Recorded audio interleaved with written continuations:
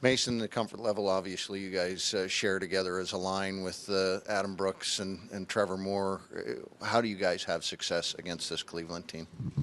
Uh, I just think we're a bunch of hard workers. I mean, we all have a little bit of skill to, to give, and uh, I just think that we all like to get pucks back. And you know, we've we've been playing together for a long time now, and uh, I'm sure all of us enjoy it. I know I enjoy it, so um, it's fun being out there with those guys.